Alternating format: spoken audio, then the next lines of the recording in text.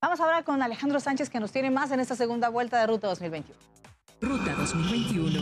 La ruta hacia las elecciones. Gracias, querida Brenda. Muy buenos días. Yo soy Alejandro Sánchez. Esto es Ruta 2021 y así arrancamos con la información electoral. Mire, conociendo las encuestas publicadas en el, en el Heraldo de México, a seis días de la jornada electoral, la morenista Marina del Pilar Ávila se perfila como la próxima gobernadora de Baja California con el 47.2% de las preferencias electorales, mientras que en segundo lugar quedaría Jorge Hanron del partido Encuentro Solidario con un 32.1%. Y si hoy fueran las elecciones, eh, el panista Francisco Pelayo Covarrubias ganaría la gubernatura de Baja California Sur con un 45% de las preferencias. El segundo sitio lo ocupa el morenista Víctor Castro Cosillo de la Alianza PT eh, con la, al obtener 38.5% de la intención del voto, mientras que en Chihuahua el resultado es muy cerrado ahí. El candidato de Morena, PT y Nueva Alianza, Juan Carlos Loera de la Rosa, se llevaría el triunfo con 36.3% de los votos, mientras que con 35% de la candidata del PAN y PRD, María Eugenia Campos Galván, se quedaría en segundo lugar. Y mire, como ya se lo decía, estamos a seis días de las elecciones más grandes y competidas en la historia de nuestro país. Por ello, el consejero presidente del Instituto Electoral, Lorenzo Córdoba, mandó un mensaje eh, invitando a los más de 93 millones y medio de mexicanos a participar en los comicios. Escuchemos. Estoy seguro de que con el compromiso democrático de todas y todos, habremos de hacer de la jornada electoral del próximo 6 de junio una auténtica fiesta democrática, el punto culminante de un proceso histórico en el que México, nuevamente, le habrá dicho sí a la vía electoral, sí a la convivencia legal y pacífica y sí a la democracia. Vota el próximo 6 de junio. Infórmate, involúcrate y participa, porque con tu INE contamos todas, contamos todos. Y mire, precisamente para platicar sobre las próximas elecciones y darnos algunas recomendaciones, saludo con gusto a Ukip Espadas, consejero del INE. Consejero, muy buenos días, ¿cómo está? Muy bien, muchas gracias. Con un gusto de estar con usted y con su auditorio. Gracias. ¿Qué nos puede decir un poco a partir de este llamado que hace el presidente Lorenzo Córdoba a los 93 millones y medio de mexicanos a salir a votar, porque yo creo que uno de los grandes retos siempre en las elecciones intermedias es vencer el abstencionismo. Bueno, pues me parece que eh, esa decisión ciudadana, salir todas y todos a votar, es eh, una gran solución. Es una gran solución. Eh, empiezo por eso, porque es muy grave en este momento es una gran solución contra eh, las intenciones delictivas que se nos han metido en algunos puntos eh, del país y que se han traducido en violencia y, en asesinatos contra candidatos. Eh, que, estos, que estos grupos no tengan éxito en sus intenciones de modificar el proceso electoral, eso se remedia saliendo a votar. es también una, una solución para la credibilidad de quienes resulten electos. Mientras más votantes acudan a las urnas, mayor será eh, la credibilidad ciudadana que estarán depositando en quienes eh, después de la jornada obtengan un cargo de elección. Y, eh, y bueno, en este mismo proceso, el salir a votar masivamente significará ratificar que para los mexicanos las elecciones son el único proceso legítimo para dirimir las diferencias que como sociedad de manera natural tenemos y seleccionar por, por el voto de los ciudadanos a quienes deben ejercer distintas funciones de gobierno. Eh, me parece que eh, solo puedo añadir que la ciudadanía debe tener confianza en salir a votar, no solo porque hay un ejército de conciudadanos que serán los encargados de recibir el voto, eh, y porque hay una estructura institucional que les garantiza que ese voto será contado y será contado bien, sino porque adicionalmente el instituto está ofreciendo todas las garantías sanitarias para que el ejercicio de este derecho democrático eh, no implique correr ningún tipo de riesgo. Sí, eso es muy importante, dado que tenemos una alerta en este momento en Quintana Roo, que está iniciando allá eh, un tercer repunte en la propagación de la COVID-19 y precisamente esa es la importancia que ustedes tienen prevista las medidas para llevar a cabo el próximo proceso electoral con situaciones muy específicas. ¿Cuáles serían? ¿Cómo se va a proteger a quienes vayan a las urnas? Bueno, de entrada todos debemos acudir con cubrebocas. Esto es una garantía. Eh, sabemos que el cubrebocas protege en principio, dependerá del cubrebocas, pero un cubrebocas común protege a los demás, no protege al que lo porta. El que todos llevemos cubrebocas es una garantía para nuestros conciudadanos de que eh, no, se, no resultaremos contagiados por respirar el mismo aire que eh, otros electores. Eh, a quienes tengan la posibilidad se les recomienda llevar las mascarillas. Esto no es una recomendación oficial, esto es algo que yo propongo, llevar las mascarillas que son un poco más caras y que protegen también al que la porta, independientemente de que otros también lo hagan. a nivel de las casillas tenemos una serie de disposiciones para asegurar que el proceso se desarrolle con la mayor higiene posible, empezando por las colas que se pudieran formar afuera de las casillas, que se cuidará que, en donde se cuidará que las personas mantengan una distancia eh, prudente unas de otras. Solo podrán acceder a la casilla quienes estén, eh, quienes estrictamente estén ejerciendo el voto en ese momento, es decir, no habrá espera al interior de la casilla propiamente dicha eh, a una muy importante eh, es que cada quien tiene el derecho de llevar eh, la pluma, marcador o crayón con la que desee marcar la boleta a la hora de votar. Si esto no se hace, el instituto proporcionará marcadores que serán desinfectados después de cada uso para que tampoco significaran riesgo de contagio. Esto en este particular momento tiene especial importancia porque han estado circulando eh, videos malintencionados en redes sociales eh, afirmando que eh, se van a usar unas plumas que se borran con fuego.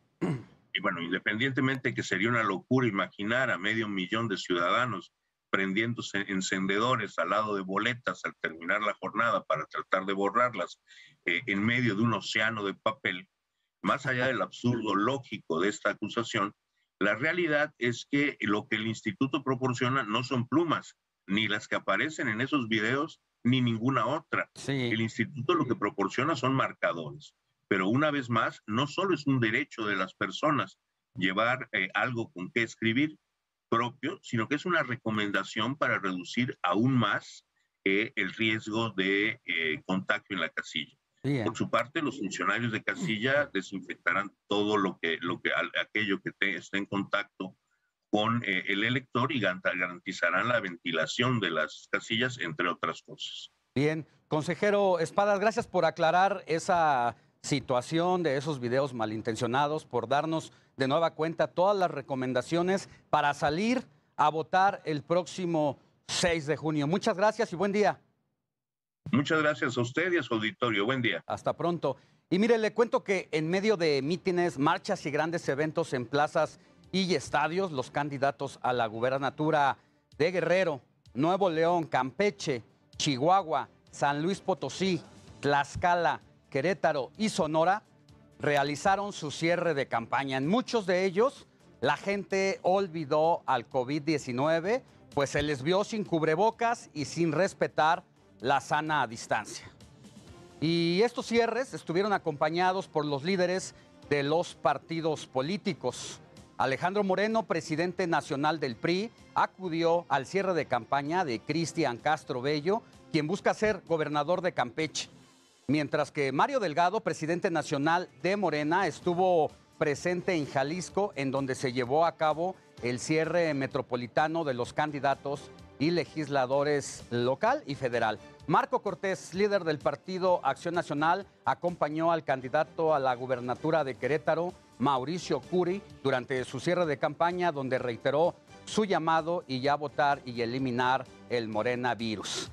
Les recuerdo que el cierre de campaña será el 2 de junio para que el próximo 3 de junio inicie la veda electoral, donde ya nadie deberá ejercer actos políticos. Según el Instituto Nacional Electoral, es un conjunto de medidas que tienen el objetivo de generar condiciones para que los ciudadanos se tomen el tiempo de reflexionar sobre el voto que van a ejercer en libertad el próximo día 6 de junio. Oiga, y este proceso electoral ha sido considerado como el más violento, pues el número de agresiones contra políticos ya se superó eh, a lo que se registró en el proceso electoral presidencial pasado. Hasta el día de hoy se han contabilizado lamentablemente 782 agresiones a candidatos y políticos, mientras que en el proceso de 2017-2018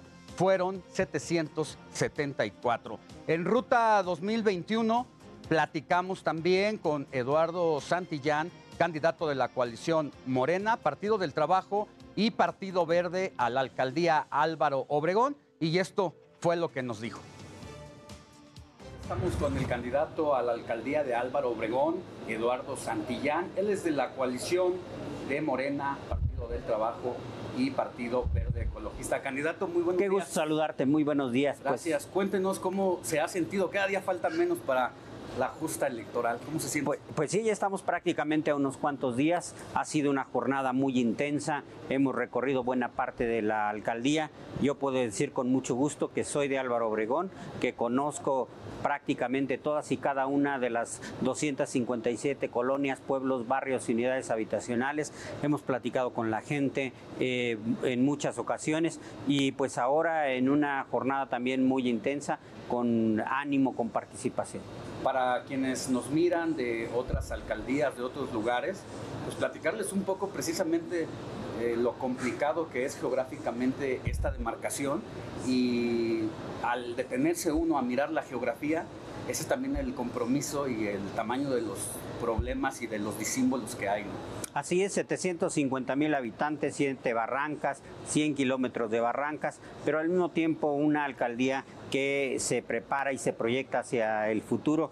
Tendremos obras de infraestructura muy importantes. Vamos a tener la conclusión del tren México-Toluca con la estación Santa Fe Corporativo, Santa Fe Pueblo. Eh, en observatorio se hará un centro de transferencia muy importante, nuevas estaciones del metro en, la alcaldía Álvaro Obregón, en eh, la Valentín Campa, en Franz Hals, en Alfonso XIII, la cuarta sección del bosque de Chapultepec, que va a tener una universidad de la salud, una sede de la Cineteca Nacional, museos, una nueva preparatoria en la, en la colonia 8 de agosto. Entonces esto representa más de 40 mil millones de pesos en infraestructura los próximos tres años en Álvaro Obregón. Estos proyectos de movilidad serán interesantes porque ahora que estamos eh, aprendiendo a vivir después de esta problemática de lo que representó la COVID-19, la, la, lesión a la economía eh, de los gobiernos, pero también la familiar, pues creo que es un buen momento y un buen pretexto para agarrarse de ahí y comenzar la reconstrucción económica, ¿no? Así es, eh, tenemos que priorizar la reactivación económica en Álvaro Obregón. Por un lado, tiene, tenemos dos grandes sectores. Uno es el sector del desarrollo inmobiliario, en el cual vamos a terminar de desarticular lo que se ha conocido como el cártel inmobiliario, que llevó a cabo pues barbaridades eh, extremas, como fue el tema de la presa Ansaldo, una construcción absolutamente irregular en medio de la presa, Insurgentes 2021, el corredor de Desierto de los Leones. Nosotros vamos a garantizar el respeto a la ley, el respeto a los usos de suelo, pero dentro de eso también una reactivación económica importante. Y el otro gran sector que es el del sector restaurantero que también debe de tener muchos apoyos. Tendremos 10 mil créditos a mujeres en Álvaro Obregón, que va a representar anualmente 170 millones de pesos en créditos, un programa muy importante de empleo temporal para mejorar las colonias en Álvaro Se nos van ramificando las temáticas que queremos abordar precisamente a partir de esta visión que tiene. Uno sería eh, el tema de los pequeños negocios, de los changarros, muchos de ellos pues desafortunadamente no resistieron, quebraron. Y cuando hablas de un changarro, hablas de cinco familias o más que dependen de ello. Eh, para ellos, ¿qué tipo de apoyo está? Eh, pues va a ser muy importante eh, apoyar a los micro y pequeños empresarios, a la peluquería, a la tortillería, a la tienda de abarrotes, a la carnicería. Para ellos va a ser muy importante el acompañamiento que tengamos desde la alcaldía, créditos a la palabra, créditos que permitan reactivar y también vamos a, cambiar de manera importante la manera de gastar el presupuesto en la alcaldía. No vamos a contratar eh, grandes empresas, sino que la obra pública la vamos a hacer con las y los vecinos de cada una de las comunidades para generar empleos en cada una de las colonias o pueblos y al mismo tiempo que esto permita que se active la economía local, de tal manera que podamos comprar en la tlapalería, podamos comprar en la casa de materiales, que podamos contratar a los herreros, a los carpinteros, a los albañiles de la propia comunidad. Eh, eso nos va a permitir que buena parte del presupuesto de la alcaldía sirva para reactivar la economía local. Antes de la COVID-19 venían dos grandes temas siendo la agenda global del mundo eh, cuando nos llegó esta enfermedad, que hemos ido aprendiendo a vivir ya hace un año, tres meses con ella. Eh, el tema del el medio ambiente y de las mujeres que ya lo ha tocado de alguna manera. En ese sentido, ¿qué está ofreciendo a las mujeres de Álvaro Moreno? Las mujeres serán la prioridad del gobierno en nuestra alcaldía. Estaremos entregando 10 mil créditos, pero también estaremos eh, teniendo una política transversal de equidad de género. Vamos a tener una Defensoría de las Mujeres que va a ser un organismo especializado en la defensa de las mujeres que son objeto de cualquier forma de violencia. De tal manera que tendremos abogadas, psicólogas, trabajadoras sociales y de manera muy especial vamos a dar de manera gratuita dos, eh, dos juicios. Uno de ellos, el juicio de divorcio. Una mujer que es violentada no puede haberse eh, divorciarse porque le cuesta el divorcio. De tal manera que llevaremos gratuitamente el acompañamiento jurídico y el otro, el de las pensiones alimenticias, que es un gran problema que representa un gran agrado. Tendremos nuestra policía violeta, que va a ser una policía especializada en atención a los fenómenos de violencia familiar y de violencia hacia las mujeres y también una inversión muy importante en la generación de senderos seguros en toda la alcaldía, que nos van a permitir espacios de seguridad para las mujeres. ¿Cómo aliviar a estas mujeres que de alguna manera en algún momento se veían apoyadas con las estancias infantiles y que pues al ser madres trabajadoras tienen que salir a ganarse la vida y pues han tenido que recurrir a la abuelita, a la tía para que las cuiden. En ese punto específico, ¿cómo las va a? Aquí hay una diferencia muy importante. El sistema de guarderías en Álvaro Obregón atiende a cerca de 2.000 niñas y niños. Nosotros no le apostamos a un sistema de guarderías en donde se habilitan casas que no son seguras, que no tienen medidas de protección civil y que se convirtieron en un gran fraude, porque incluso se la pasaban inventando. Así es. Hermosillos o no. Así es. Entonces no vamos a permitir que haya eh, guarderías ABC en Álvaro Obregón y nosotros estaremos ampliando la red de, estancias infantiles en Álvaro Obregón que nos van a permitir eh, apoyar a un mayor número de mujeres en nuestra alcaldía. Pues Eduardo Santillán, candidato a la alcaldía Álvaro Obregón por la coalición conformada por Morena, PT, Partido Verde Ecologista. Así, es. ¿verdad? Muchísimas Muchas gracias. Nos vemos el 6 de junio para festejar. Hasta pronto. Pues hasta aquí, Ruta 2021. Mi nombre es Alejandro Sánchez y mañana les seguiré informando sobre las elecciones más grandes y competidas de nuestro país. Le invito a que lea mi columna en el periódico El Heraldo de México, Contra las Cuerdas. Hasta mañana. 2021.